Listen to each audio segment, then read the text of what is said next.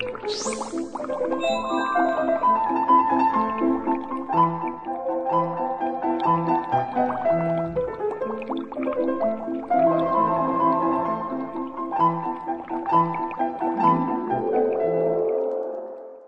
Hola niños, bienvenidos al taller.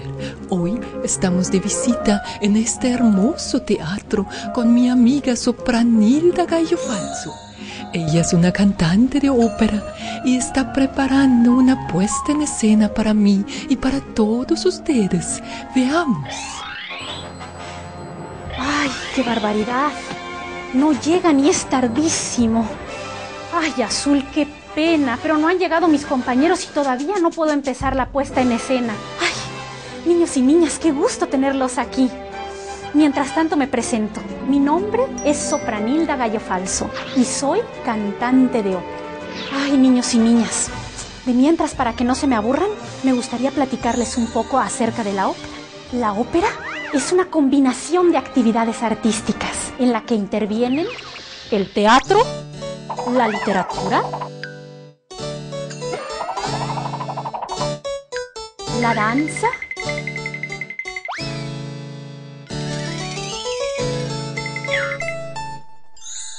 la música,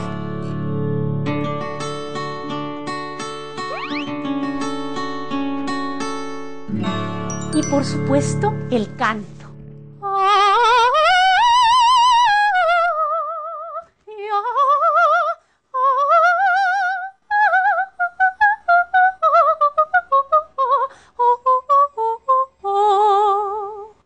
En ellas se cuentan bellísimas historias.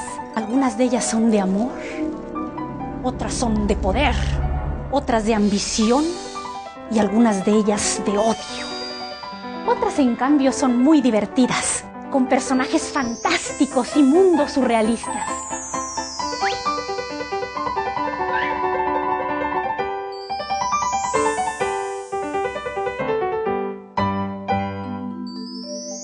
Técnica de canto nace porque antes no existían micrófonos ni amplificación artificial. Entonces el cantante tenía que arreglárselas para que su voz pudiera escucharse en todo el teatro y no viniera cubierta por la orquesta. ¿Quieren escuchar un ejemplo de estas óperas? Este es O mio babino caro de la ópera Janis Kiki. O mio babino caro,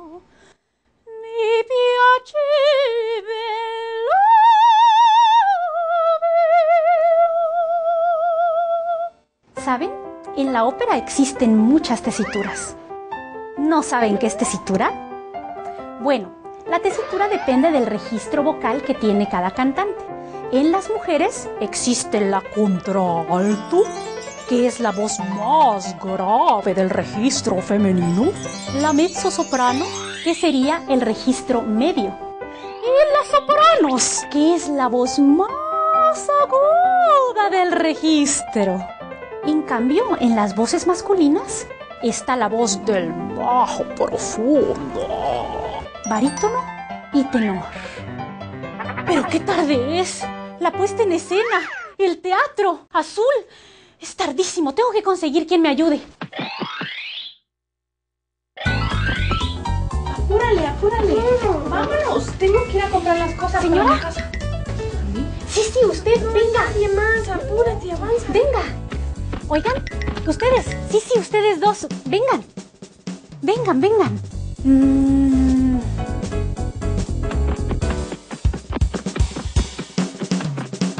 Amiga, amiga. Oye, ven, ven, sí. Ven, ven para acá. Los llamé porque necesito que me hagan un favor. Tengo que hacer una puesta en escena para mi amiga Azul y los cantantes me quedaron mal. ¿Me ayudan? Sí. Perfecto, entonces vamos, es por allá. ¡Música, maestra!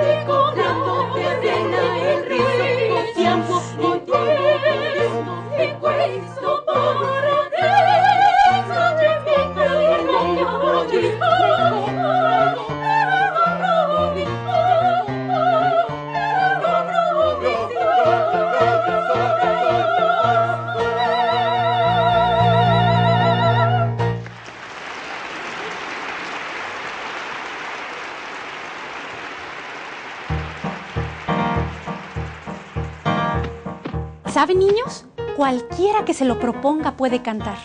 Solo es cuestión de mucha disciplina, estudio y sobre todo mucho amor a la música. Y así podrán hacer cosas maravillosas con su voz y con su canto. Bravo, bravo, aplausos. Estoy tan emocionada. Gracias, Sopranilda, por esta gran presentación. Y qué bueno que al final de cuentas todo salió bien. Y espero que todos los niños hayan aprendido que todos podemos cantar con un poquito de práctica y disciplina. Adiós, niños. Nos vemos en el próximo taller.